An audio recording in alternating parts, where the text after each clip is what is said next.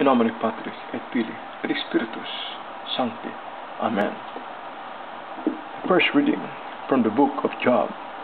One day, when the angels of God came to present themselves before the Lord, Satan also came among them. And the Lord said to Satan, Whence do you come? Then Satan answered the Lord and said, From roaming the earth and patrolling it. And the Lord said to Satan, Have you noticed my servant Job, and that there is no one on earth like him, blameless and upright, fearing God and avoiding evil? But Satan answered the Lord and said, Is it for nothing that Job is God fearing? Have you not surrounded him and his family and all that he has with your protection? You have blessed the work of his hands, and his livestock are spread over the land. But now put forth your hand and touch anything that he asks, and surely he will blaspheme you to your face.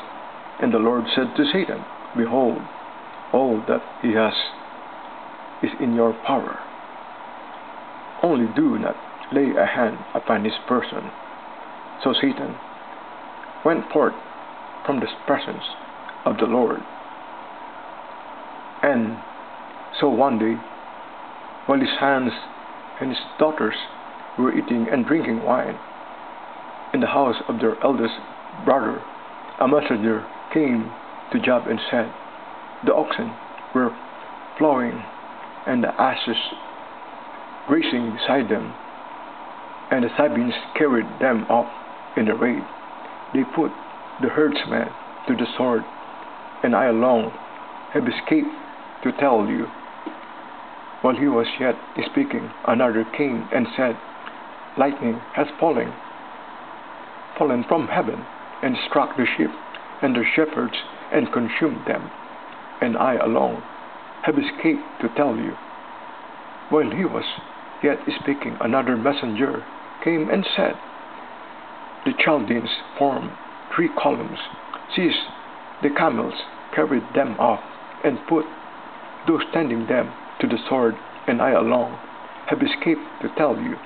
While he was yet speaking, another came and said, Your sons and daughters were eating and drinking wine in the house of their eldest brother, when suddenly a great wind came across the desert and smote the four corners of the house. It fell upon the young people, and they are dead. And I alone have escaped to tell you. Then Job began to tear his cloth and cut off his ha hair. He cast himself prostrate upon the ground and said, Naked I came forth from my mother's womb, and naked shall I go back again. The Lord gave, and the Lord has taken away. Blessed be the name of the Lord in all this. Job did not sin, nor did not, nor did he say anything disrespectful of God. In nomine Patris et Filii et Spiritus Sancti. Amen.